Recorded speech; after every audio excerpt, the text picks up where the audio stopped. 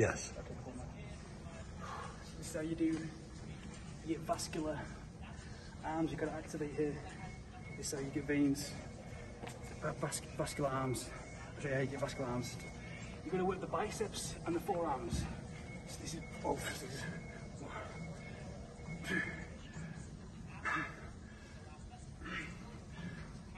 So you hold it there.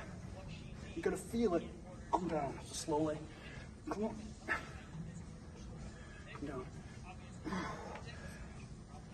You got to feel it. Like if you just do this, that's swinging it actually, but you don't activate. it. You got to really like this, like this, so you feel it. You feel it there. So you come up like that position. Then you go down. You feel it as you go down. Because if you do this, you don't feel it in the bice- bicep at all. You've got to really pop out the arm like this, almost swing it. So it's like this. Like there. You can feel it in the bicep there.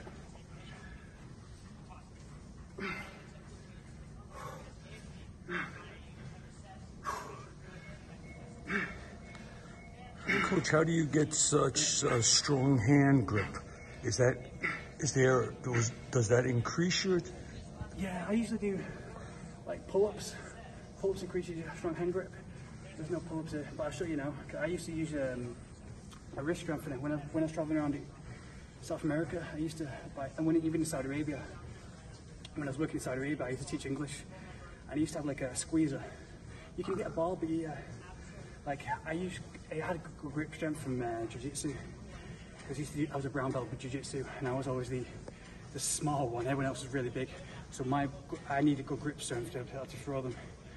So yeah, for choke kidding, for uh, jiu-jitsu and throwing them around, you need good grip strength. And I'll show you how to get good. yeah, you have an amazing strong grip and Yeah, it's like it. it's like, uh, I would hate to get uh, punched by one of those. No, but this is just from bone, bone strength. Like, Okay. just hours and hours of punch and punch back. You know, I used to have like really delicate hands. You know, and I still do. You know, I still do because I need to strengthen it up.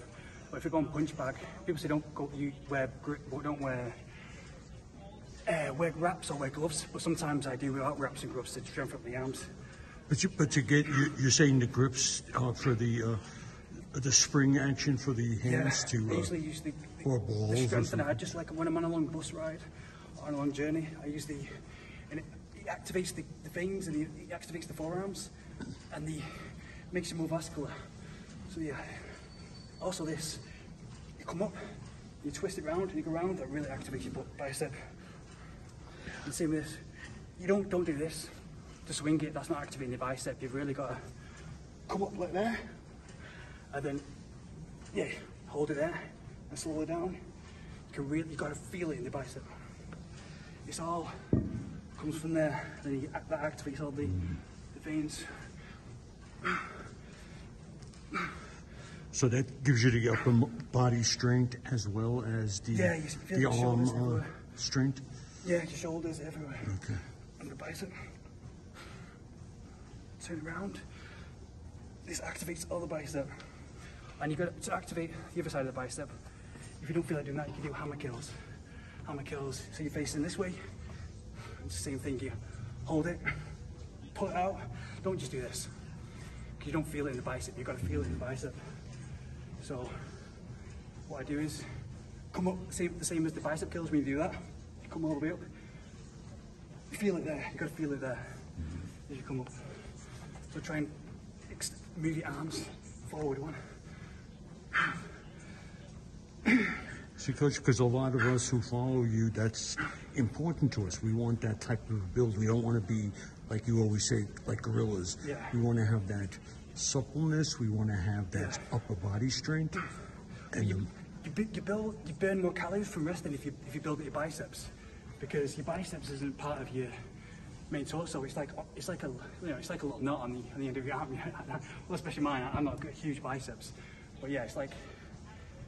So if you feel it, you feel the blood rushes through here through your arm more. So the more you build the muscle, the more blood rushes through there, and that's when you burn more calories when just just by resting. And the uh, biceps is And coach, do you have a series of uh, workout videos that you uh, Yeah. on the different parts of the body workout? Because I know personally, I don't, I have no clue when I go to the gym. Yeah, I'm going to be making those. But now I just did a video of my full body workout, and I'm going to edit that and put it put it together into two shorts. But yeah, I'm going to do how to activate the back. But I, I do full body workouts really because it just it feels good to me. But if you're after looking good, then obviously you do like chest day, leg day, all that kind of stuff. But I'm after functional. I like to do a full body workout because it keeps you. That's great for burning more calories because you work your whole body, activates all your muscles in your body. And I do that maybe six days a week, uh, five days a week. Sometimes I do seven, but you know that's only for advanced. And obviously, if you do seven, you have to on the seventh day you have to go a bit slower because it's almost really hard to do it. Yeah, I'll show you how to.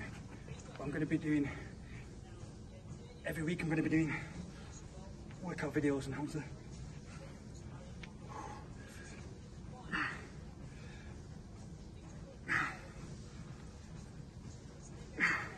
And now you finish off.